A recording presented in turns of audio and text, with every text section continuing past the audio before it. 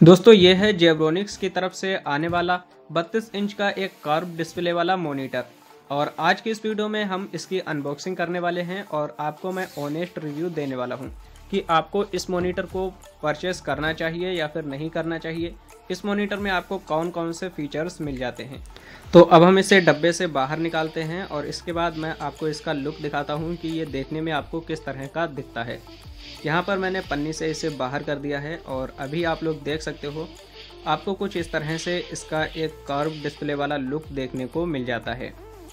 यहाँ पर आपको जो साइड में बैजेस हैं, वो आपको काफ़ी कम देखने को मिलेंगे और नीचे की साइड में आपको एक वाइट कलर का वेज देखने को मिलेगा और ये काफ़ी स्लिम है, ऊपर से आप देख सकते हो और इसका जो लुक है, देखने में ये काफ़ी अच्छा लगता है। चलिए दोस्तों, अब हम इसे सेट कर लेते हैं और इसका जो स्टैंड है, स्टैंड मैं आपको यहाँ पर लगा करके और उसके बाद मैं आपको तो इस मॉनिटर में आपको 65 का एक रिफ्रेश रेट मिल जाता है। और बात करें इसकी ब्राइटनेस की तो यहाँ पर आपको 250 निट्स की ब्राइटनेस देखने को मिल जाती है। इसी के साथ यहाँ पर इसके जो बॉक्स में जो एसेसरीज मिलती हैं तो इसमें आपको एक पावर एडोप्टर मिल जाता है और साथ ही आप लोगों को एक बी केबल भी मिल जाती है। और दोस्तों, ये आईपीएस पैनल नहीं है, ये आपको वीए पैनल देखने को मिल जाता है।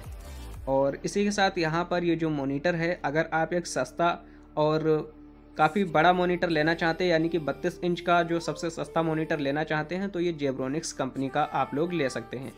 इसकी बात करें परफॉर्मेंस के बारे में कि मैंने इस मोनीटर को परचेस किया है तो ये चलने में कैसा है, इसके डिस्प्ले के कलर वगैरह किस तरह से दिखते हैं तो आप लोगों को बता दूँ, मैंने इस मॉनिटर को जब परचेस किया था परचेस करने के बाद में मैंने इस मॉनिटर को लगभग पाँच से छः दिन तक यूज़ किया और मेरे पास एक डेल का लैपटॉप है, उसकी स्क्रीन से मैंने इसकी स्क्रीन को कंपेयर किया तो इसके जो कलर हैं, वो काफ़ी हमें हल्के से देखने को मिले। यानी कि जो हमारा लैपटॉप था, उसमें काफ़ी अच्छे कलर शो हो रहे थे और इस मॉनिटर में कुछ खास इतने अच्छे कलर शो नहीं हो रहे थे। अभी मैं आप लोगों को इस मॉनिटर को स्टार्ट करके दिखाता हूँ और इसकी डिस्प्ले की क्वालिटी कैसी है, वो भी मैं आपको अभी दिखाता हूँ। तो मैंने यहाँ पर इसे रख दिया है और अब हम इसे एनर्जी सप्लाई देंगे और इसके बाद इसकी जो डिस्प्ले की क्वालिटी है, वो भी मैं आपको दिखाने वाला हूँ।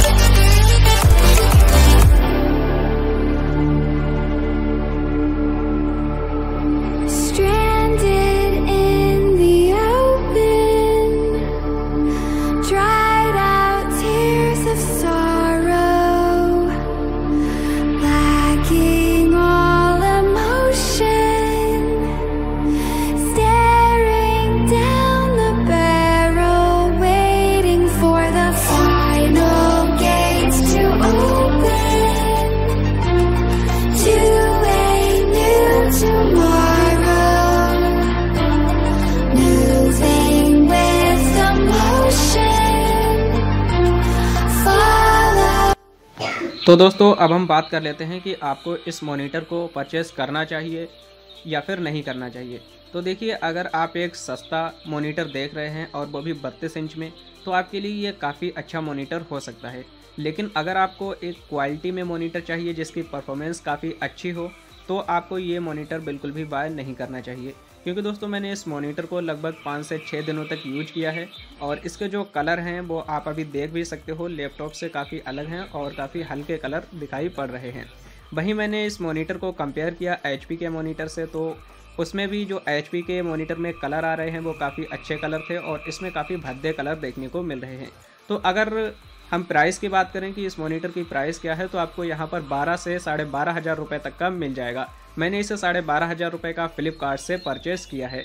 और अगर आप लोगों को एक बेस्ट मॉनिटर चाहिए, जिसकी क्वालिटी वगैरह सब कुछ अच्छी हो और बारह हज़ार रुपये तक का चाहिए तो आप सैमसंग का मॉनिटर ले सकते हैं। लेकिन सैमसंग का जो मॉनिटर है, वो आपको बत्तीस इंच का नहीं मिलेगा, बल्कि आपको चौबीस इंच का या फिर अट्ठाईस इंच का ही मिलेगा। तो ये था ओवरऑल इसके फीचर्स के बारे में और सभी कुछ इन्फॉर्मेशन मैंने आपको दे दी है। और मैं आपको बता दूँ, मैंने इस मॉनिटर को परचेस किया, इसके बाद मुझे इसके कलर बिल्कुल भी अच्छे नहीं लगे, इसलिए मैंने इस मॉनिटर को रिटर्न मार दिया।